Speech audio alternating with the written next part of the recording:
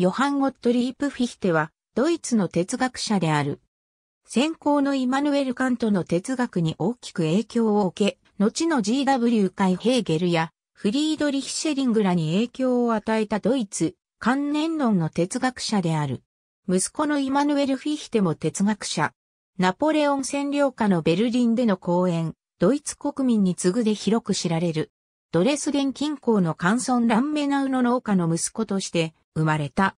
貧困のため修学できず、近くの教会で行われた説教や親族に聞かされたゲルマン神話などを糧に少年時代を過ごす。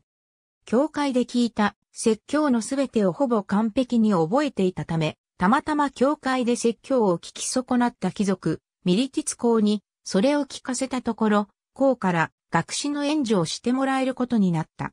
そこで、後に、ドイツの名門校、プフォルタ学院に進学、ここからイエナ大学へと進学することができた。しかし、ミリティツ公が死去し学習が止まったため、26歳の時、大学での研究はついえる。自殺を決心するほどの貧困に苦しんだが、友人の紹介でスイスにおいて家庭教師の職を得る。そこでカント哲学を教材として扱い、カントの哲学に興味を覚え、1791年に70歳近くになったカントのいるケーニヒスベルクを訪ねる。そこでカントの実践理性批判をもとに宗教概念を論じた諸女作あらゆる刑事批判の試みをカントの仲介で出版。一躍、著名になる。翌年には、イエーナ大学教授に就任。この頃の大学での講義における、人がどんな哲学を選ぶかはその人間がどんな人間かによるという言葉が有名。全知識学の基礎などを表す。1799年には、神概念のあり方をめぐり、無神論論争を引き起こした。結局無神論者のレッテルを貼られ、イエナを去った。後に、主としてベルリンに滞在した。この頃に人間の使命などを表す。一般に1801年以降後期思想と呼ぶ。後期思想では自我概念が後退し、絶対者あるいは神が中心的な主題として現れてくる。この神はキリスト教の神そのままではなく、自由な道徳的主体の相対である我々を可能にする根拠であり、そのような心的な性格を持つ者としての絶対者を言う。ベルリン大学が開校されると、その初代の哲学教授に就任した。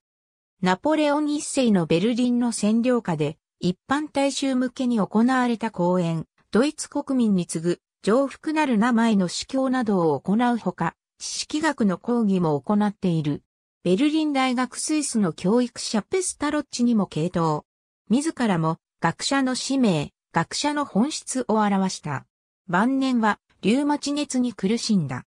ナポレオンがプロイセンから敗退した後、混乱する国内の救援に夫人がボランティア看護婦として参加したが、その間にチフスに感染した。夫人を看護し続けたフィヒテもチフスに感染、間もなく急死。51歳であった。遺体はベルリンのドローデン墓地へ埋葬された。フィヒテの後にはヘーゲルがベルリン大学教授として招聘された。後年、ヘーゲルの強い希望により、ヘーゲルの遺体はフィヒテの墓の隣に埋葬されることになった。現在はフィヒテ夫婦とヘーゲル夫婦の墓が隣り合わせに並んでいる。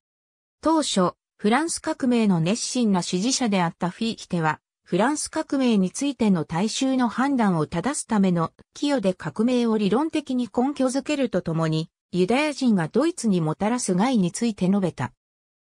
フィーヒテはユダヤ人から身を守るには、彼らのために約束の地を手に入れてやり、全員をそこに送り込むしかない。ユダヤ人がこんなに恐ろしいのは、一つの孤立し固く結束した国家を形作っているからではなくて、この国家が人類全体への憎しみを担って作られているからだとし、ユダヤ人に市民権を与えるにしても彼らの頭を切り取り、ユダヤ的観念の入ってない別の頭を付け替えることを唯一絶対の条件とした。フィヒテは、世界は有機的な全体であり、その部分は、その他のすべての存在がなければ存在できないとされ、個人の自由は全体の中の部分であり、個人より高いレベルの存在である国家は個人に優先すると論じて、個人は国家と一体になった時に初めてその自由を実現すると主張した。ナポレオン戦争中の1807年12月から翌1808年にかけて、フランス軍占領下のベルリン学士院行動において、フィヒテはドイツ国民に次ぐを連続講演した。この講演では、フランス文化に対するドイツ国民文化の優秀さを解き、また、ドイツ国民の統一、ドイツ人の内的自由、商業上の独立を主張し、ドイツ国民精神を発用しドイツ解放戦争を準備する力となった。フィヒテはすでに、個人は個人より高い存在である国家と一体化することによって自由を実現すると論じていたが、ドイツ国民に次ぐでは、民族、国民に個人が没入することによって自由を達成すると論じられ、唯一正当な統治形態は国民による自治であると主張した。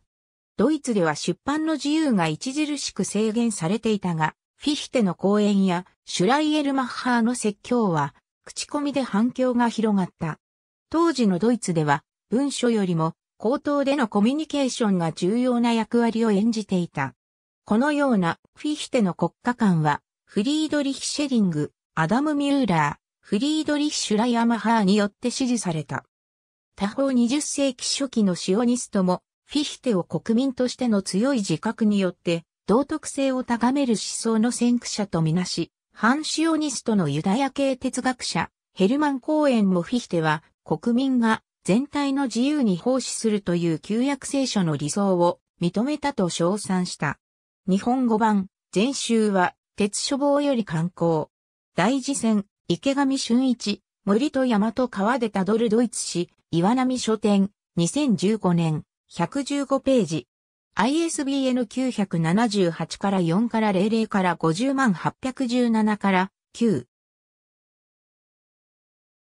AB ポリアコフさん P248 から260ドイツ史に P174 フィヒテ全集に1997年 P198 ABC ケドゥーリー現100年 AB ドイツ史に P213 から9 AB ダン竹田は子2016モッセ1996 P73 から93オンラインフェイクシモリーにアウフラーゲ1793ファーズークアイナークラティックアレオーファンバラングバイプロジェクトグーテンベルグ G のドット ORG フェイクシモリーズバイガリカバイグーグルブックス BEIARCHIVE.org フィヒテ全集に1997年ドイツ史にでは、フランス革命に対する公衆の判断を正すための寄与と分け。